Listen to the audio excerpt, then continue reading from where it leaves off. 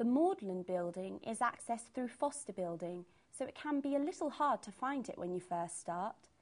Maudland is full of specialist laboratories and research units and has a bit of an old school science building feel to it. If you take the stairs, you will notice it seems to have floors between floors with toilets on them.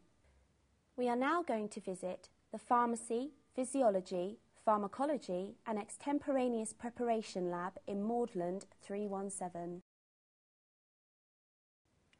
In this lab, we are going to visit students undertaking experiments upon themselves and their other classmates, such as measuring cholesterol levels, checking blood glucose, determining blood pressure, and investigating lung function, as well as preparing drugs and analysing their effect on a patient's condition.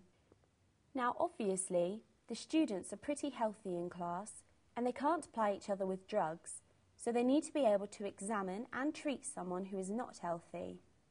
Enter Stan. Stan is a simulator mannequin. He is sometimes healthy, whilst on other occasions he can develop illnesses like heart problems such as arrhythmia or a myocardial infarction.